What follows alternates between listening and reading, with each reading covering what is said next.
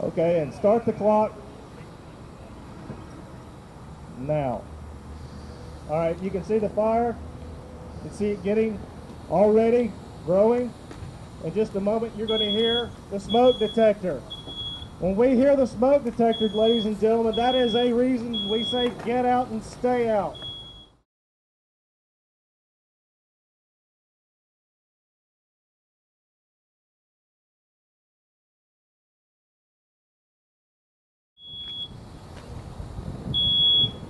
Okay, this is going to simulate a cigarette that is left or falls between the cushions.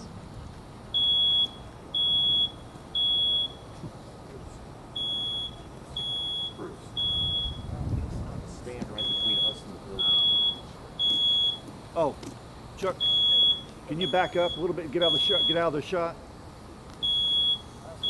Okay, now you're seeing the thick black smoke. All the toxins from the materials that are burning. You. See it banking down. This is what kills. The smoke is what kills, not the flames.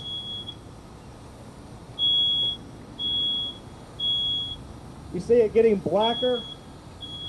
This is the toxic gas. Monoxide bonds 240 times tighter to a blood cell than actual oxygen, so your body craves monoxide more than it does the oxygen. And you can see the smoke banking down as the couch starts being consumed a little bit more.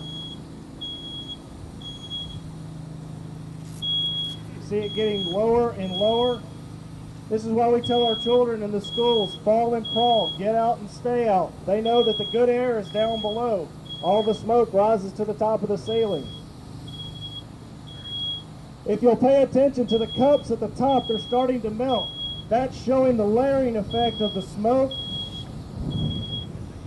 So if you think you're going to be able to survive by holding your breath, it's not going to happen. And if you'll still hear the smoke detector is still working, even in a working fire.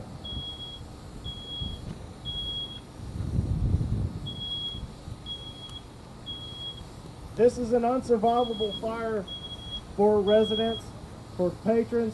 We are at three minutes right now. We've just now gotten the call that there is a house fire or a building fire.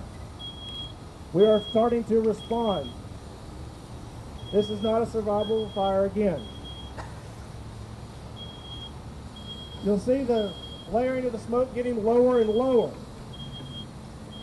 As our fire companies are rolling, this is what's happening.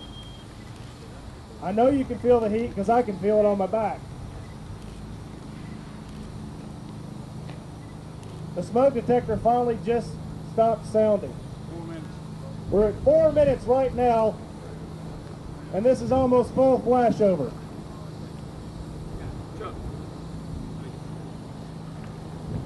Okay.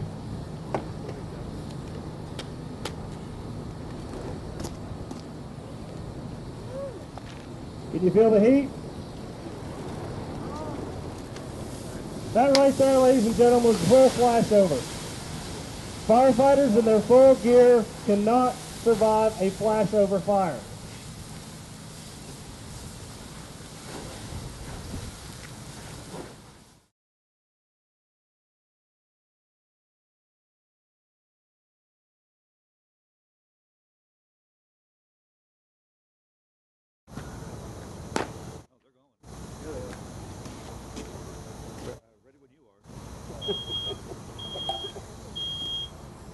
Okay, now you hear the smoke detector. And as soon as you see it, the sprinkler head just went off.